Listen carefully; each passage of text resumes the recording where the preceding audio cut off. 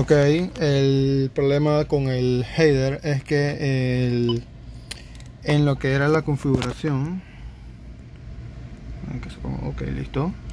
En la configuración, setting en el modo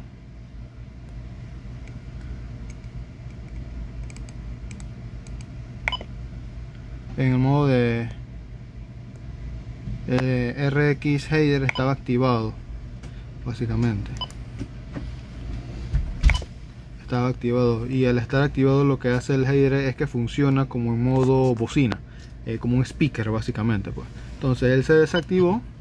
Ya el desactivado ya dejó de funcionar como un speaker adicional y ya está funcionando eh, correctamente con lo que viene siendo ya acá el modo header. Entonces en el modo header el volumen de, de TX estaba en cero. Entonces también era una razón por la cual no se escuchaba lo que pasaba afuera y tampoco por el header se escuchaba lo que uno quería hablar por el speaker. Y bueno ya se subió el volumen y ya el header ya está funcionando o la función de header ya está funcionando como tiene que ser